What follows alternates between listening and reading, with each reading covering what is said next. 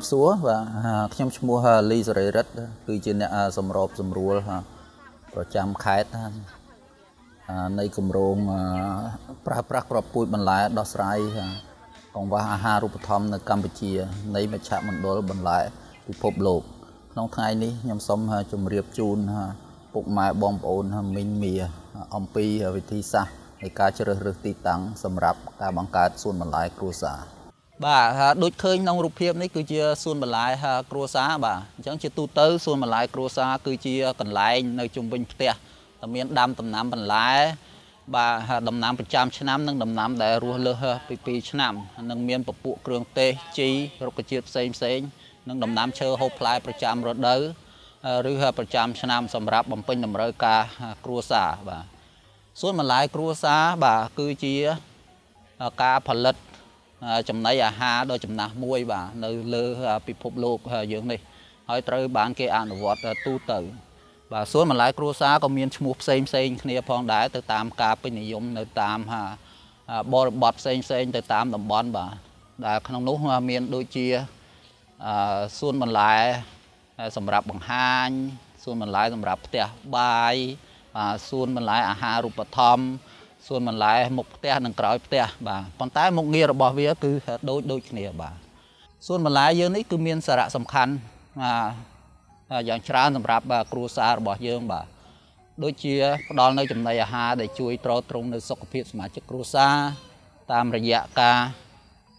បង្ការនៅការកើតជំងឺធ្ងន់ធ្ងរផ្សេងផ្សេងដូចជា ជំងឺបេះដូងជំងឺមហារីកបាទជំងឺខ្វះគ្រាប់ឈាមក្រហម ជំងឺខ្វាក់មាន់ជំងឺសម្ពាធឈាមខ្ពស់ជំងឺទឹកនោមផ្អែមនិងភាពនិងជំងឺក្រិនក្រេសជាដើមបាទក្រៅពីនេះក៏វាក៏ជួយផ្ដល់នៅរបបអាហារដែលមានតុល្យភាពសម្រាប់ការរូតរាស់រាងកាយបាទខួរក្បាលនិងសុខភាពល្អប្រសើរបាទសួនបន្លែគ្រួសារក៏ជួយ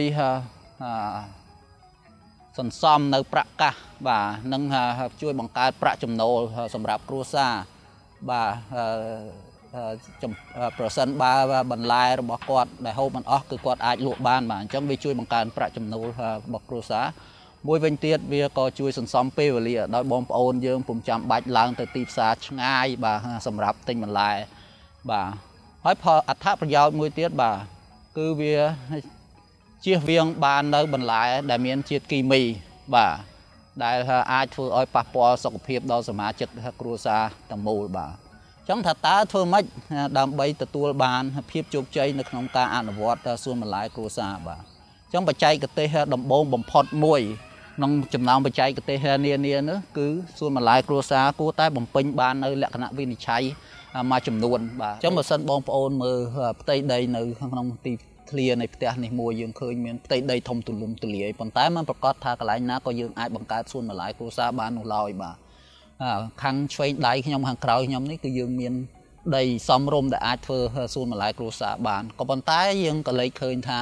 នៅទីនេះមានដើមឈើមួយចំនួនច្រើនមានដើមស្វាយដើមដូងនិងដើមឈើហូបផ្លែមួយចំនួនដែលបង្កជាមលុបខ្លាំងក្លាបាទពន្លឺព្រះអាទិត្យចូលបានតិចតួចបំផុតអញ្ចឹងបើសិនយើងជ្រើសរើសវានោះបន្លែរបស់យើងនឹងពុំបានទទួលលទ្ធផលល្អឡើយ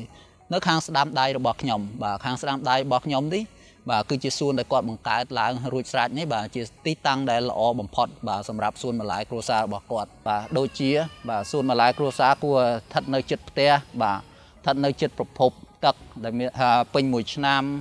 បាទទទួលបានពន្លឺព្រះអាទិត្យគ្រប់គ្រាន់ បាទគួរតែមានរបងពាត់ជុំវិញដើម្បីការពារមន់និងសត្វផ្សេងផ្សេងទៀតកុំឲ្យចូលមកបំផ្លិចបំផ្លាញដំណាំដែលយើងដាំបាទព្រមទាំងគួរស្ថិតនៅលើទីទួលបាទដើម្បីការពារការលិចទឹក បាទនៅរដូវភ្លៀងខ្លាំងក៏ដូចជារដូវទឹកជំនន់បាទអញ្ចឹងនេះគឺជាទីតាំងសមរម្យបំផុតបាទល្អបំផុតសម្រាប់ធ្វើសួនបន្លែគ្រួសារសូមអរគុណ